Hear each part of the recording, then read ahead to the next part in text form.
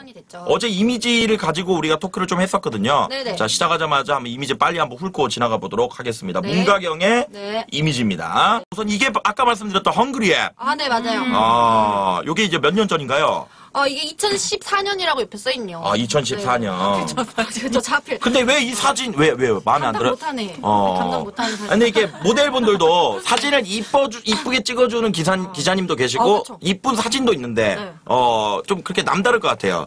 요거는 몇 점? 요거는 마음에 들어요? 어, 이거는 조금 큐티하게 나온 것 같아서 마- 음. 마음에 드네요. 몸매가 그쵸. 어, 요거는 누구예요? 이거는 저예요. 어, 이건 탑기- 내일 친구들 데뷔 전에. 다 데뷔 전에. 네, 네. 어, 이거는 어디에? 아, 이거, 아, 이거 아, 아니네요. 아, 우리 또 네. 너무나 보고 싶은 우리 어, 네. 누나. 자, 이건 누구죠? 저예요. 헝그리 앱. 네, 우리 헝그리에. 헝그리 앱을 또 많이 하셨네요. 아, 그쵸. 어, 좋아요, 좋아요. 네, 좋아요, 알겠습니다.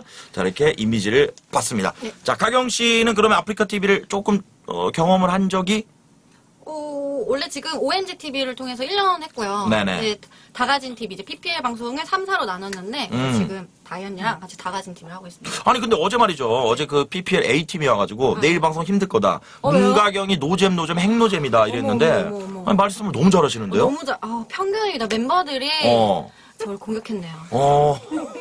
아니 이것들. 문가경은 정말 노답이다. 아, 정말 재미가 정말 더럽게 없다라 그랬는데. 아 이거 네. 안 되겠네. 스파 시켜야겠네. 안 되겠어요. 알겠습니다. 어,